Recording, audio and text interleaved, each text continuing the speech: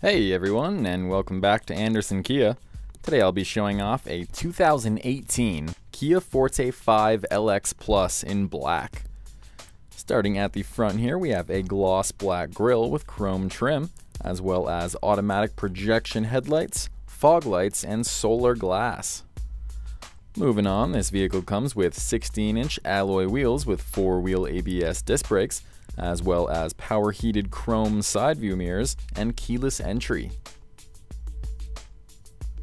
Heading toward the rear now, this vehicle comes with a rear window wiper, a rear lip spoiler, and a spacious trunk.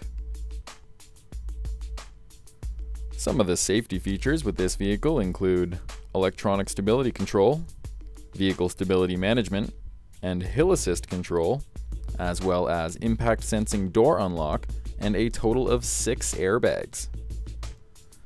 Moving on inside, the Forte 5 features a beautiful cloth interior with a center armrest, as well as 60-40 folding rear seats and a six-speaker sound system. Looking toward the front now, this model includes power windows and locks, steering wheel mounted audio and cruise controls, as well as heated front seats.